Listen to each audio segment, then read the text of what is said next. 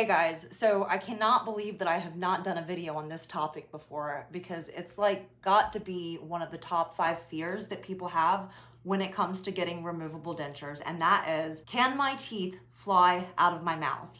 Is that just like a comedy sketch? Is that like a TV trope? Is that an urban legend? Does that actually happen? Is it a thing? It's a thing and it happened to me. So I'm gonna be going over all of the different scenarios that could potentially cause your teeth to fly out of your mouth, what causes that to happen, how you can prevent it, and what to do in the aftermath should that happen to you. And today's video is sponsored by Ivoclar Vivadent. If you don't know who Ivoclar is, they are a dental manufacturing company that produces products that dental professionals use to treat patients like us, such as the teeth that I have here, and I'll link a video up here of Amy who also got the same teeth that I got, but hers were in removable dentures. If you wanna learn more about about Ivoclar, their link is in the description box. It's www.morethanadenture.com. I forgot that this even happened. I was digging through the vault of my old YouTube videos and I did have an experience where my teeth flew out of my mouth. It was Sunday morning. I was rushing around trying to get four kids ready for church. I'm sure you can imagine how that goes. And I was getting super frustrated and I hollered out at my oldest son. I think he was messing around or he was, I don't know, he wasn't doing what he was supposed to do. And I hollered out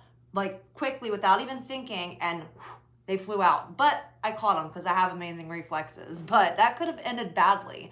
Like if they would have actually flown out and hit the floor, that could have been a disaster. It could have cracked them. I've heard experiences from people where they have dropped their dentures or they have flown out of their mouth and they've been cracked. It's a situation that all of us would like to avoid. So I want to discuss how does that happen? Why is that even a thing? So I'm gonna go through some of the scenarios that could potentially lead to you maybe losing your dentures. Swimming.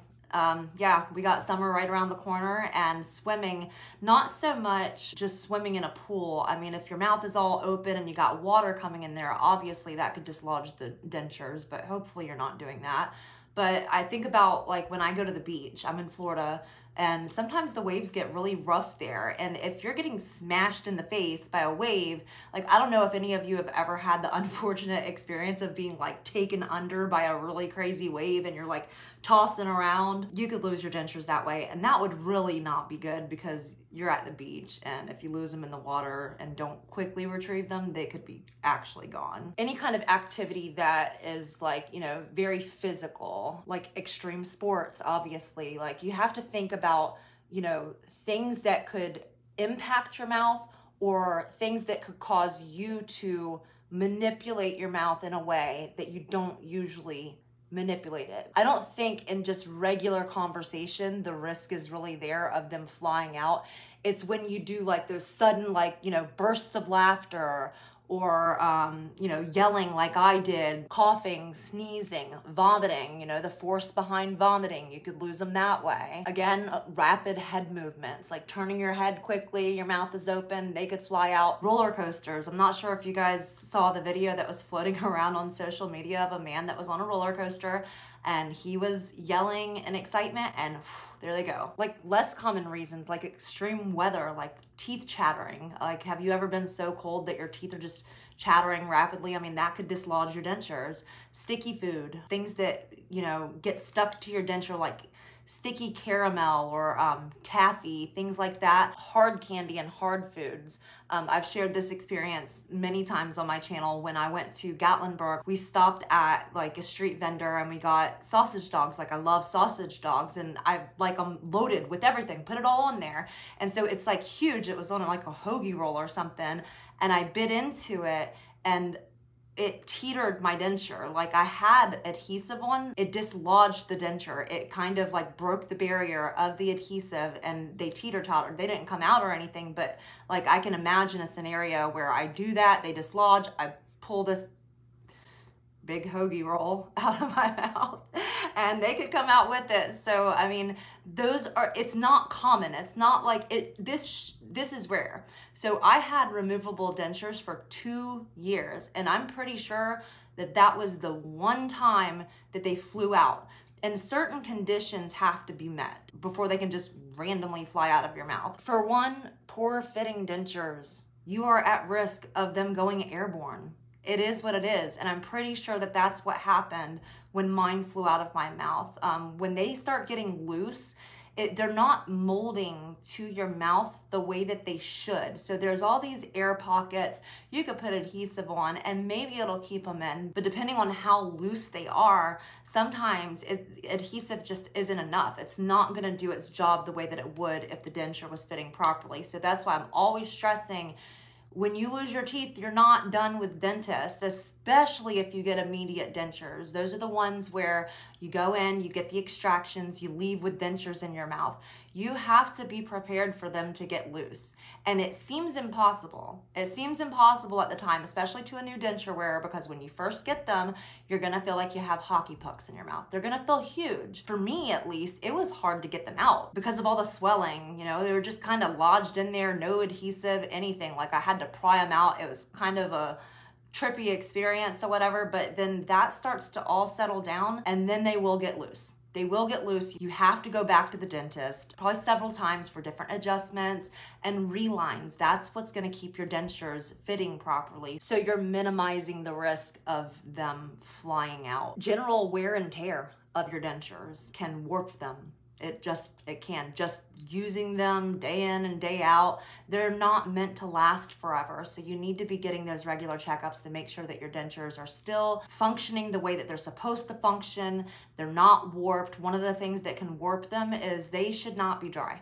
You should not just set your dentures on a counter it's going to dry them out. They they will eventually change shape. They've got to be soaking in something when they're not in your mouth. Applying too much adhesive can do it too. Because if you if you overdo it with adhesive i know you're probably thinking like oh if i just like pile all the adhesive on there it's just to give it this extra hold and that's counterintuitive because it's going to make it squishy it's to make it spongy it's not to stick as good. I mean you can think of it like in terms of using actual glue. Like when you use actual like just the paste that kids use in school. The more you use, the more spongy it gets. It's not going to create that firm hold that you get when you use, you know, a thin layer. That's how you have to think about adhesive. If you're using adhesive, don't overdo it. But then sometimes, unfortunately, just the dentures being dentures made of acrylic is enough to put you at risk of them flying out of your mouth.